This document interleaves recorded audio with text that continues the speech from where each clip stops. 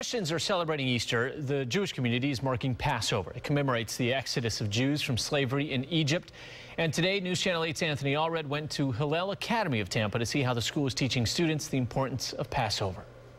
We're here at Hillel Academy where we are celebrating Passover. I know it's a couple of days early and I don't know a lot about it. So I thought I'd bring in an expert here. I thought I'd bring in Allison Oaks to tell me a little bit more about what we have on the table here and what does it have to do with Passover. Absolutely. So Passover is a celebration of redemption from slavery in ancient Egypt while also being a time that we remember what it meant to be slaves so we don't live through that again. And one of the things that we do is we have foods that have double purposes. So this is called charoset. Charoset represents the mortar that the slaves used to put the bricks together in ancient Egypt, but it's sweet. So it's also there to remind us of what sweetness and freedom and happiness is.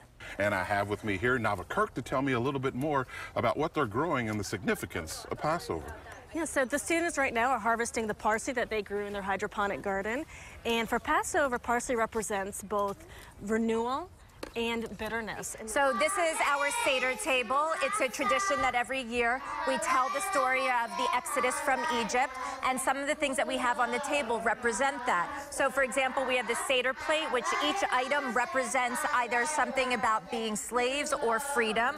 We have Elijah's cup, where we welcome um, Elijah into the house.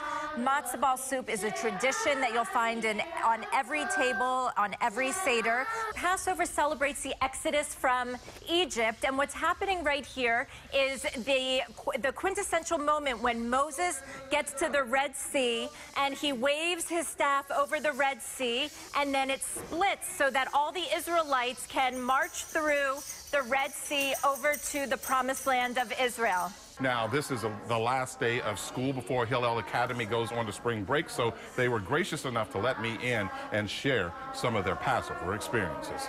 In Tampa, Anthony Allred.